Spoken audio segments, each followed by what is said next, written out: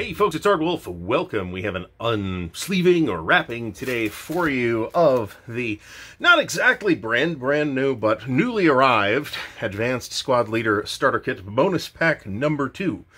So there's a number of interesting things about this. First of all, it's obviously a new scenario pack for the Advanced Squad Leader Starter Kit system. But unlike at least some of the previous Starter Pack bonus packs, Starter Kit bonus packs, um, it is not standalone. You need to play everything in here. You need Starter Kits 1 through 4 and Expansion Pack number 1.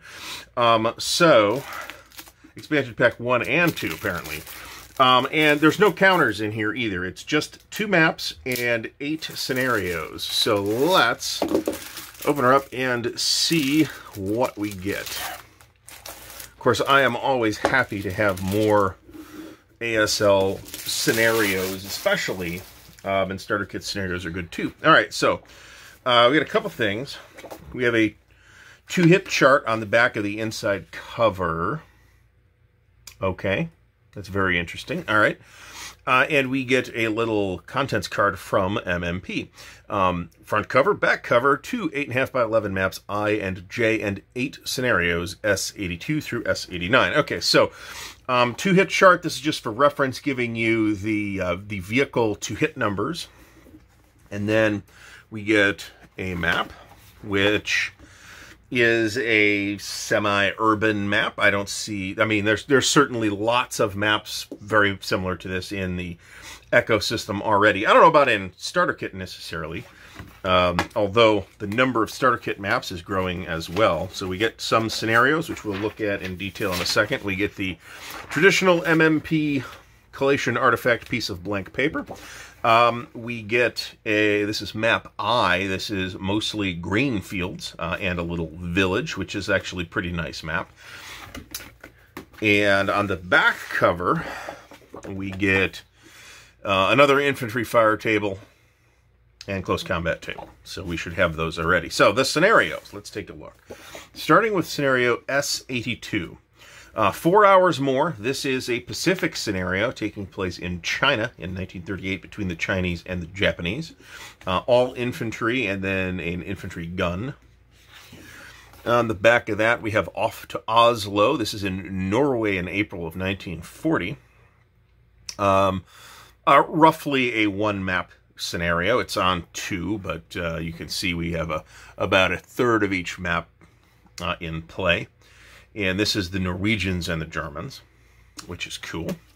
Insufficient Resolve. This is Russia, August 1941, obviously between the Russians and the Germans.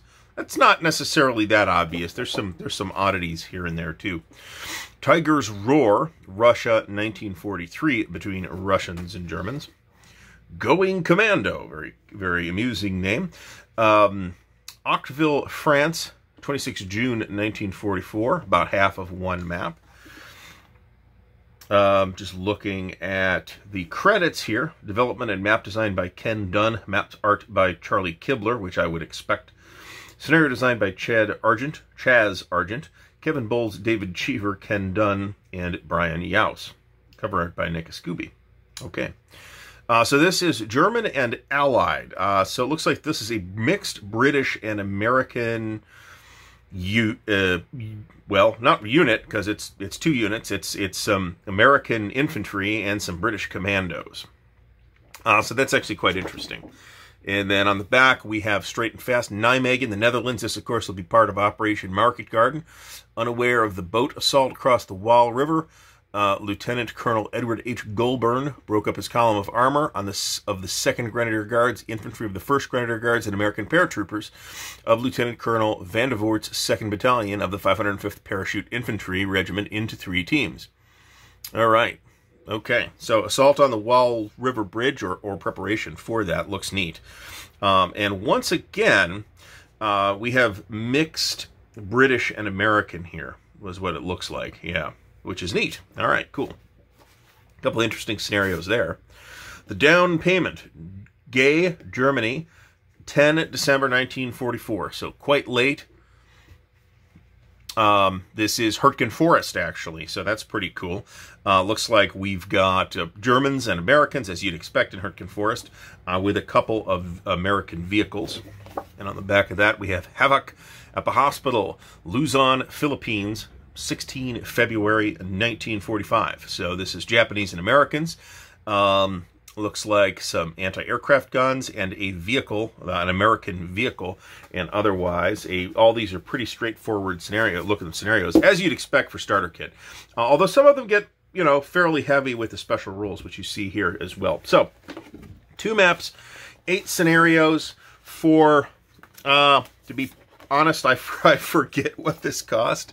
Uh, but it was not, you know, particularly expensive. So if you're if you're looking for more scenarios with which to enrich your ASL starter kit experience and and uh, uh, ability to, to, to, play in different parts of World War II, uh, then maybe Advanced Squad Leader Starter Kit Bonus Pack number two is something you want to take a look at. So thanks for watching. Please uh, do like the video if you have found it useful. Please do subscribe to the channel. And if you'd like to support Ardwulf's Lair, there's a bunch of links in the video description, so check that out.